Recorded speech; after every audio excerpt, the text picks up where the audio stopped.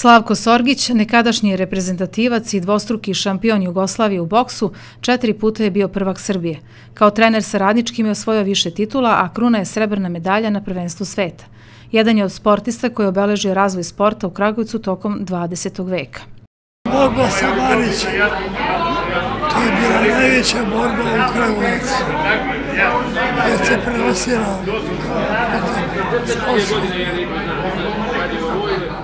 jednog događaja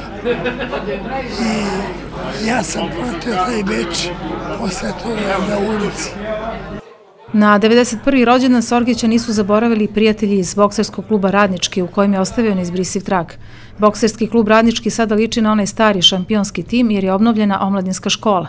Zato kažu da su velike šanse da Krgujevčani ponovo budu bokserski lideri Srbije.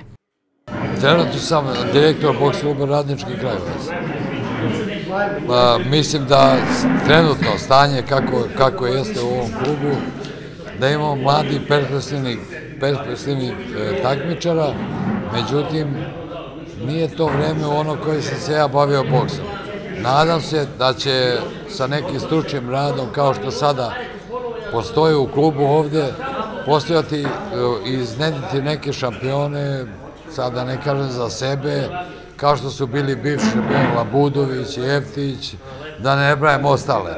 Tako da se nadam da, da će ovaj boksni klub radnički, kao što je bio perjanica ovoga grada, nastaviti tu, tradiciju i biti perjanica stvarno u pravom smislu ovoga grada.